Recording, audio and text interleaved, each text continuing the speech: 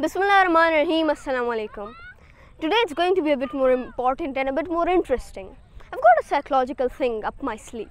It's a little trick I always lock into and lock onto. It's interesting, it's complex and very much hard to achieve. But once you understand that peak, you'll be able to know what it feels like.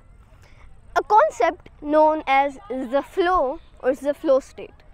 It's interesting because there's many variation to it. The trance state, the zone, etc. Many different names that are occupied by this certain criteria. I'll be talking about all of them, but basically all of them are just a subcategory or subside of the flow state. Some of them for artists, writing or painting, some of them for athletes that are doing sports and multiple different other things. But I'm going to be saying flow state and what study influences it. Now, without further ado, let's get into it. We've all actually achieved a state of flow state once in our life. Not even once, but it's rather the habit.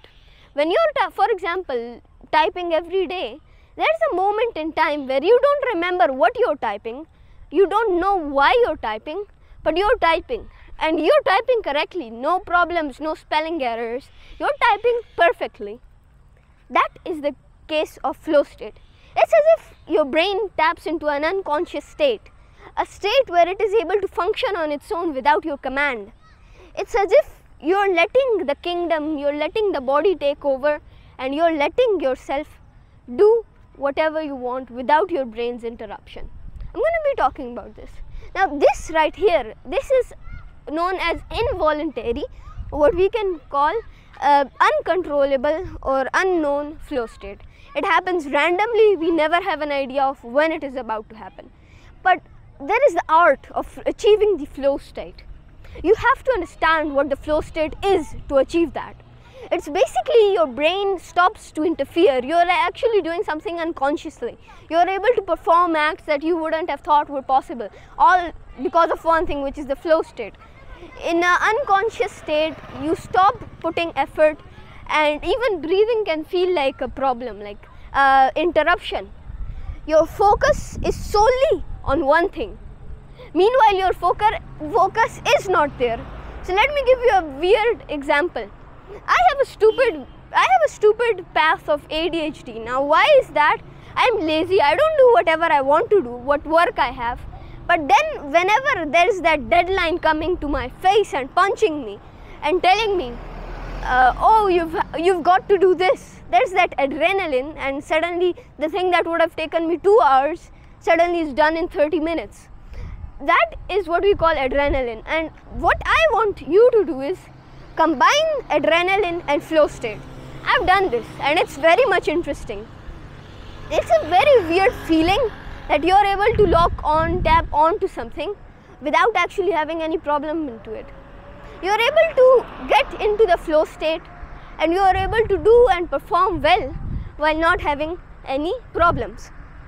Let me describe to you how that is.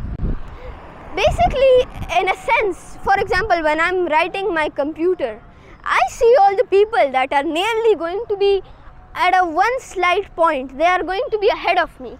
And it's that adrenaline amount that just kicks in and I'm, I'm feeling that I'm losing and each time I feel that those geniuses are about to win from me, my ego comes in and it just crashes down to me. It just comes that if I do not win, I will remain a nobody, and that's what I don't want. I want to win, and that is very much important for me. To win, to be best, to be the better version of myself, and to be who I need to be. Not who I want to be or not who I am, because that would be what influences me.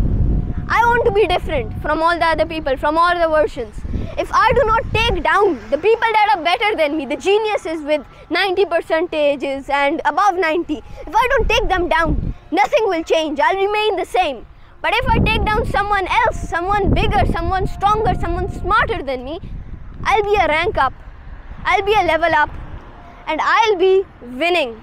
And that is what egoism and that is what adrenaline does. And then I lock on to the flow state, a case where you are able to actually just do stuff by your own. I don't think. I write like 30, 40 paragraphs and I just write. I don't stop.